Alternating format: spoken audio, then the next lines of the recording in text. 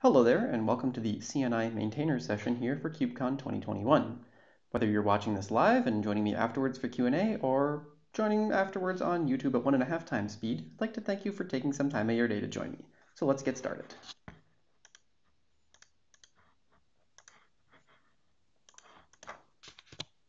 So, the maintainers track sessions at KubeCon are where CNCF projects can give things up, can give updates and talk about what's next for those projects. In this session, I'll be doing that for CNI. And what we'll be doing here today is starting the conversation about what CNI 2.0 might look like. First, a brief introduction. My name is Casey Callendrello. I am an engineer at Red Hat working on OpenShift and upstream Kubernetes, as well as maintaining other upstream projects such as CNI, OVN-Kubernetes, and go-iptables, which you may have used. Uh, I've given similar talks to this before, but this is mostly about CNI 1.0, and today this is a new talk around what we might want to do for CNI 2.0. What are we going to talk about today? We'll talk about an update of what the project has done so far, namely releasing CNI 1.0. We'll talk about some pain points and considerations that we are thinking about as we look into the future, and we will look at some possible new directions that the project might be taking. So the first agenda item is CNI 1.0. Uh, but this slide is kind of boring. I think we need some more word art. There, that's better. By the time you're watching this talk, CNI 1.0 will have been cut. And this is a pretty cool achievement, right? This is a standard that started from the community about five years ago, and it's finally time for us to declare 1.0 that we've reached a stable specification. CNI 1.0 is not going to contain any particular surprises. It looks pretty much just like the previous versions before it. It's just a formalization and a rewriting of the existing spec that everybody knows and loves. Um, honestly, it's been almost five years now, so it's appropriate for a project that is as mature as CNI to declare a stable release. Um, as an aside, I'd like to thank the CNCF for donating time and resources to help us set up a website, which we didn't have the resources to do. So now you can find everything you need to know about CNI at our shiny new website, cni.dev. Um, just to get everybody on the same page, here's a quick overview of how CNI currently fits into the overall Kubernetes and containerization ecosystem. CNI is responsible for configuring a network interface, more precisely an attachment, inside a container. That is to say, it mediates the interaction between a network plugin and a container runtime. CNI, the protocol, is an execution protocol, and CNI is additionally a configuration format. There is a reference implementation for consuming the configuration and executing the protocol, known as libcni, that is used by many plugins and many container runtimes. libcni is maintained by the CNI project itself. The project CNI also supplies some commonly used network plugins for really common use cases, such as a generic bridge implementation. But by no means are the CNI plugins released by the CNI project an exhaustive list or the exclusive set of CNI plugins that people tend to use. So if you look here in this diagram on the screen, CNI is everything in this orange box. That is to say, it is the configuration, it is the protocol by which a runtime on the right talks to a plugin on the left. And libcni is the reference implementation and is in between this interaction. Let's talk briefly about the abstract or logical components of the CNI model. On the left, we have a container, which is managed outside of CNI. Right? CNI is only one aspect of bringing container up, and CNI makes no commentary on how a container itself is managed. That is supposed to be handled by a container runtime engine. Then there is a network, which in the CNI world is represented by a single CNI configuration file. And then you have an attachment of a container to a network. And this is CNI's picture of the world. To be a little bit more accurate, the CNI model allows for multiple attachments in a single container. It allows for multiple networks, and it even allows for multiple attachments of the same container to the same network. And as an aside, the fact that Kubernetes only understands a single attachment is a limitation or a decision within Kubernetes itself. Other CNI runtimes, such as, for example, Podman, natively support multiple interfaces, and the CNI works with them in this regard. The execution protocol has only three methods. It is a simple sort of RPC world. Uh, it has three methods, add, del, and check. That's it. Add concerns with creating an attachment. It says, please attach this container to this network. And delete would be the inverse of that. Check uh, is to report if a particular attachment is still functional, that is to say, asking a plugin to please validate that everything is still configured appropriately.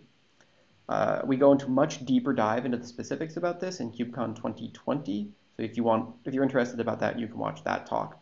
And CNI 1.0 really doesn't change anything from that talk, so that talk is still accurate. An important distinction about CNI, though, is that plugins are executable binaries. When we say RPC, many people think gRPC or JSON RPC or REST. No, we, that's not the way CNI works. Plugins are executable binaries, and each RPC call is a new execution of that binary. So it's a little bit different than what you may be used to. But that's it. That's the whole protocol. It's not particularly complicated. So now that we understand the basics of the CNI protocol, let's look at some problems and thing, let's just call them suboptimalities that users of CNI and developers of CNI plugins experience with real-world uses in the network. First sort of wart, or well, we'll call it a wart, is executing, executing binaries. The bad thing about this, well, there's a couple things. First of all, it's a security risk. And what do we mean by this?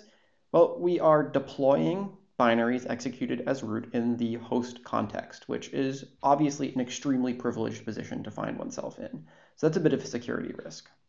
Um, it's also annoying in containerized developments. For example, you are installing a binary that's executed in the host but is built in a container. It's a good thing that Go and Rust make it very easy to build statically linked binaries. Otherwise, this might be a quite difficult problem to solve.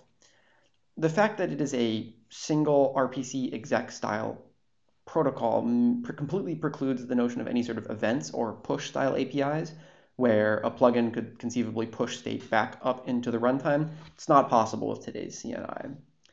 And one sort of funny little thing is that many plugins today are, in fact, thin shims to daemons.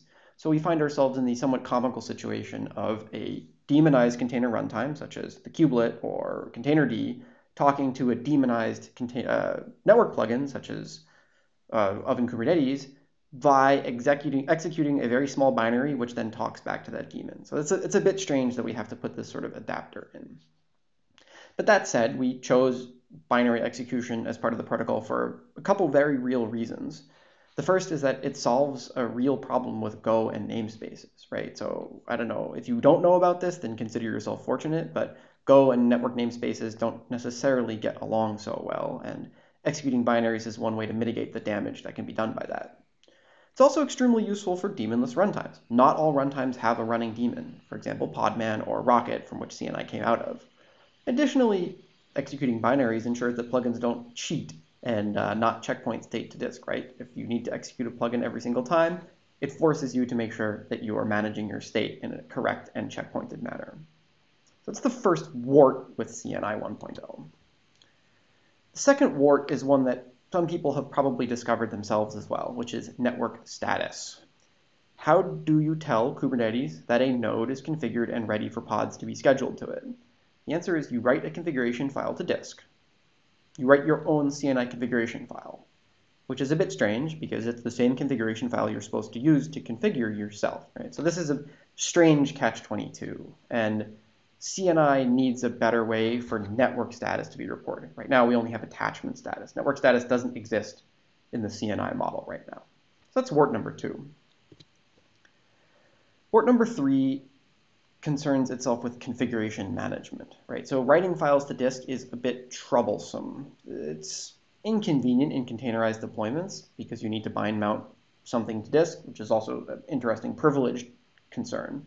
It's not easily discoverable as well. It means that anybody who wants to know anything about network configuration needs to have the same directory bind mounted in containerized deployments. That's pretty awkward, right?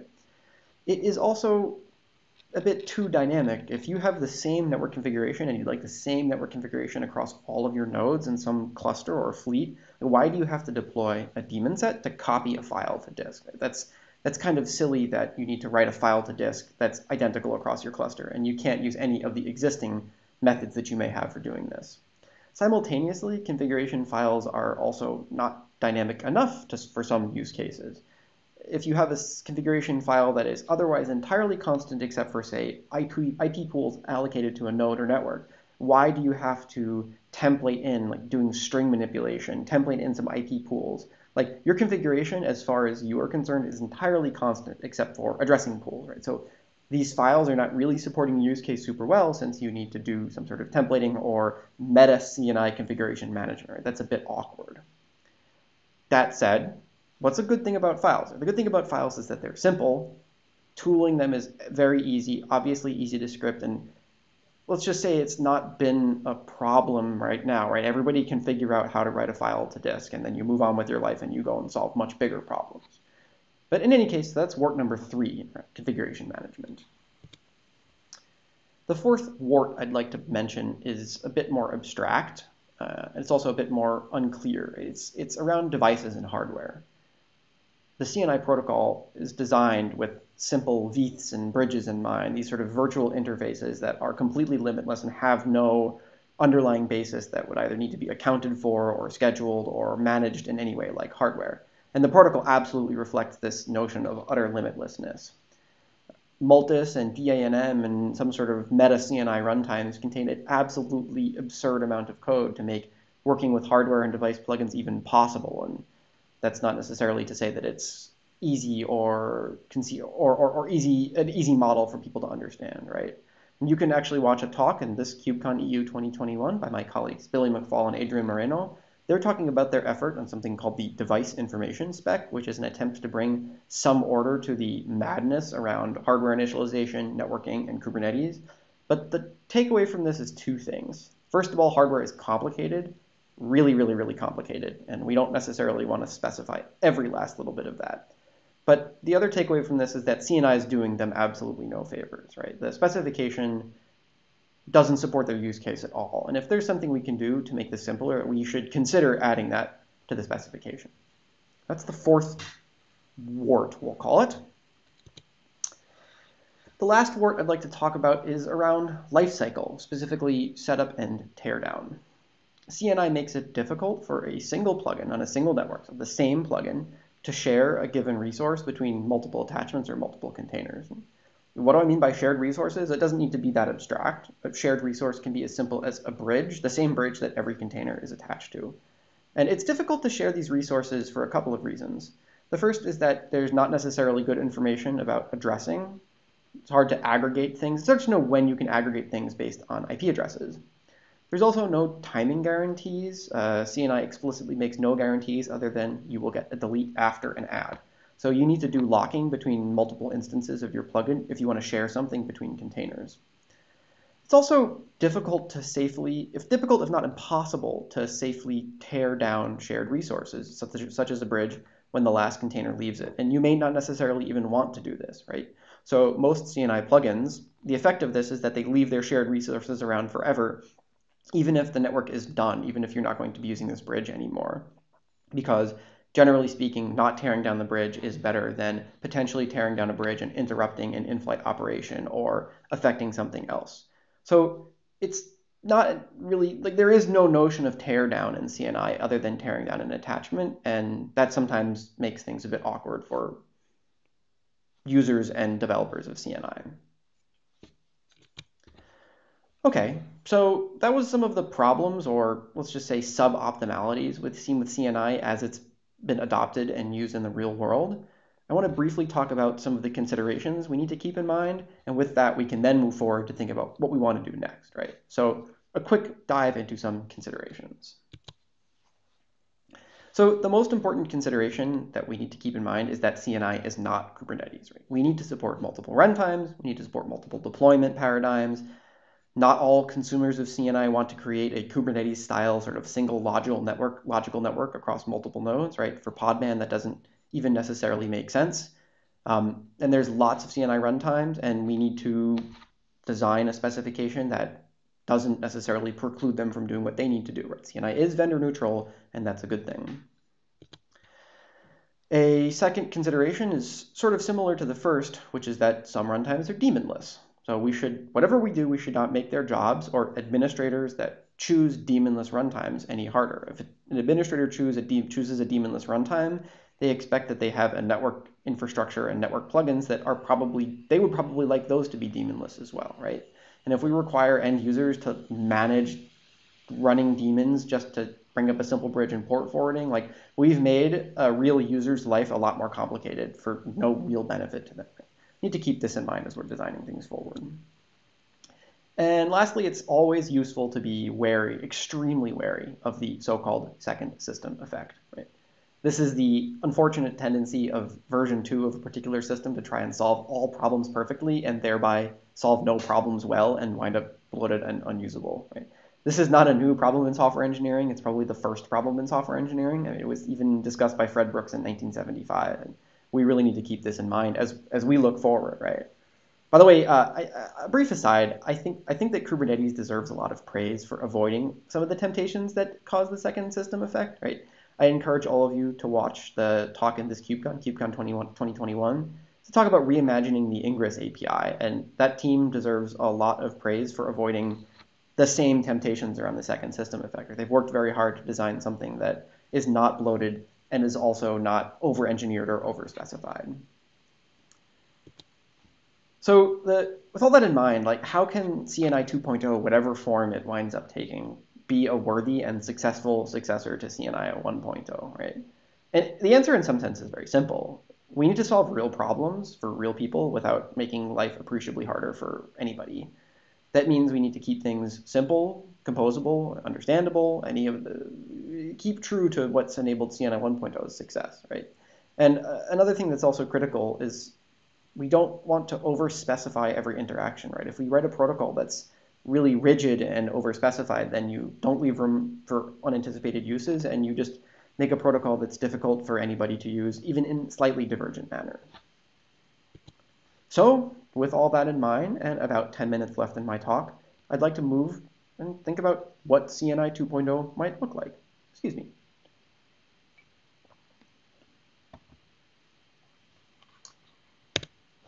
So the first thing I'd like to think about for CNI 2.0 are some potential lifecycle improvements. So I've showed here the logical diagram before and the three CNI methods, how they fit in. You can add, delete, and check an attachment. That's all that you can do. So like, let's imagine, what if you could do the same verbs for all, the, all of the three logical components within CNI? Like, what might that look like? What if you could manage networks the same way you manage attachments? Well, just for discussion's sake, I think we can probably come up with better verbs, so let's do that right here. And you can see here we have a similar lifecycle for networks and containers as we have attachments. Just rename, rename things a little bit so it makes a bit more sense. And let's think about like what would a network and containers lifecycle look like within the context of CNI as we have it. So you can imagine a network having some sort of add, which we, in this case we're calling init. You could imagine network plugins creating shared resources such as bridges and firewall rules when the network itself is created.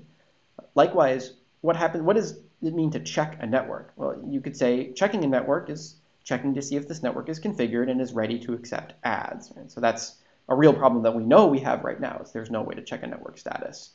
And additionally, destroy or delete for a network would be a way to say this network is no longer needed. Please tear down any attachments and please delete any shared resources. Right? So that solves a couple of the things you discussed. I think that this is a pretty clear, pretty clear gain for any sort of future directions in CNI. That's network lifecycle, somewhat akin to attachment lifecycle. So what about container lifecycle, knowing that CNI itself does not actually involve in the creation or deletion of containers or network namespaces or any sort of other isolation domains? So what would it mean to add a container? Well, one thing that comes to mind is some sort of add being akin to a finalize, which is to say, saying this container is fully attached. And in passing a container plugin as opposed to a attachment plugin is saying, hey, please, this container is fully attached. Here are all the interfaces that are configured in it. Please make some sort of additional super level or higher level aspect of a container. Please orchestrate or configure that after all attachments are done. The use case for this might be something like tweaking routing tables or adjusting sysctls or an interesting one is adjusting some internal firewalling. Right now, you can have an Istio network plugin which fits into CNI and hooks in, but is a bit of a cheat because it doesn't actually create any interfaces. This is a perfect. This would be perfect for that particular use case, which is to say, I don't want to touch any interfaces. I don't even particularly care how many interfaces there are. I just need a container's networking state to look something like this after everything else is configured. So that would be an interesting thing to add to CNI 2.0. And then check and delete would sort of match this. Check would see, please verify that your changes are correctly applied, and delete would undo, would, would be something along the lines of undo what you did. So that's the first exploration. This is the looking in the direction of lifecycle enhancements. What else might we want to consider for CNI enhancements? Well, a little bit more uh, specific would be daemonization, right? Should we offer and switch to gRPC for CNI 2.0? And the answer for that is almost certainly. There's significant demand for this, especially if you look at all of the work that is done to un to re-daemonify the exact CNI binaries. In other words, should we offer gRPC? Absolutely, right? gRPC is the standard choice. It is the expected solution for this particular corner of software engineering, and there's really no compelling reason for CNI in the future to, to avoid gRPC. However, can we require that all plugins and all administrators run as daemons? And the answer is definitely not, right? The administrative overhead for simple plugins is way too great. It would be asking way too much for administrators in that particular context. So the first solution we've come up with as maintainers is to think about offering CNI 2.0 uh, as both, right? As both daemonized and non-daemonized plugins. In other words, we should support interactive RPC over a socket file as well as, well as direct execution a la CNI 1.0. You could, we could define some relatively simple fallback rules, and it should be pretty seamless. Additionally, we can implement most of this in libcni so that plugin authors and people who are and administrators really don't necessarily need to see the complexity, and they can pick and choose whichever works better for them. Right? So I think that's a pretty clear new direction that we're going to want to take CNI 2.0. We need to offer daemonization and we need to not make it the only choice. So that's it for ideas that we've had right now that we'd like to talk about for and present about for CNI 2.0. Uh, but I want to touch on another area for which there's room for serious potential improvement, and that is the interaction between CNI and Kubernetes.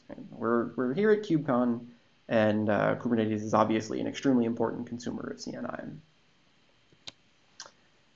So to take a step back, right, CNI configuration is a file written on disk by some unknown process. Right? Everybody does it differently. All they need to do is write a file to disk, and this has resulted in thousands of, well, that's an exaggeration.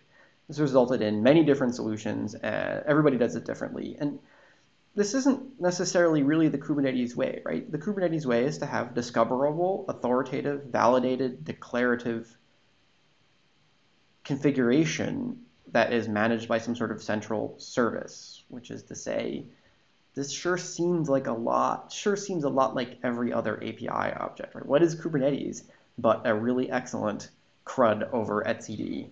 Uh, oh, I'm sort of cheating. I'm sort of uh, joking when I say that. But network configuration, like doesn't have a compelling reason why it should be different from any other types of configuration within Kubernetes. So the configuration, it's not immediately obvious how this entirely fits together, however. So the container runtime engine in a Kubernetes cluster, which is to say containerd or CRI-O or anything like that, that talks to the kubelet via something called the CRI, the container runtime interface, right? And it is by design and, and really important that the CRI is not only for Kubernetes. It is an abstract, it is a standard and an abstraction boundary. And the containerd and CRI-O and all of the CRI, the CRI runtimes, they don't talk to the API server, they don't talk Kubernetes, they talk CRI. And that's a very, very good thing for vendor neutrality and making it so that things are pluggable. So if we wanted to add logic to retrieve network configuration from an API server, that would pretty fundamentally violate the boundary, the CRI Kubernetes boundary. We don't think that that's a particularly good idea. So our first sort of straw man proposal as CNI maintainers is that network configuration management should be first class within the CRI itself, right? There's no need for this to be CNI specific, sort of in the same way that you can have GCP and vSphere volumes. Uh, it would be really cool if you could have CNI or non-CNI network configuration managed and configured and lifecycle managed by the kubelet over the CRI, right? So CRI asks that runtimes create and it reconciles network configuration and enables that enables networks to exist for a particular runtime for a particular sandbox in Kubernetes. putting the network configuration in CRI has a couple advantages, right? It means that you can have simple cluster-wide network deployment. And really importantly, it ends this sort of bizarre Kubernetes status catch-22 where your configuration file means that you're already configured. It's always been a bit strange, right? The problem is that it complicates per node configuration, or more specifically, it, comp it complicates cases where network configuration is not uniform across a cluster. So that would require some careful thought, but Kubernetes solves these problems pretty well. They have the notion of label selectors, and a node selector would be a pretty interesting thing to add to that object, right? And also, by making network configuration a first-class concept within the CRI, it opens the door for future improvements like multiple interface support and maybe even potentially dynamic attachment. Okay, I'm getting a little bit out of time, so I just want to wrap this up. Just a few parting words as uh, the presentation comes to a close. This is obviously very early days in the saga that will be CNI 2.0, and this is nothing if not a community effort, right? The CNI maintainers, we want to hear from you and want to make sure that this is a worthy exercise for all of us in the community. Um, and we really welcome your involvement, right? CNI is not a project that is supported by any one company. It really is intended to be some form of encapsulation of community consensus. So I please encourage all of you, who have you if you have opinions about this, please meet us on the CNI, the CNCF Slack and the CNI and CNI dev rooms. And if you'd like to start talking about this, we have a label on our GitHub. We are starting to open up issues to discuss and look at ways forward. So thank you very much. Mm, this needs more word art. I'd like to thank you very much for watching. Thanks for taking the time. Uh, thanks for watching me on 1.5 times speed. I hope I didn't speak too quickly. And uh, I believe it is now time for live Q&A. Cheers.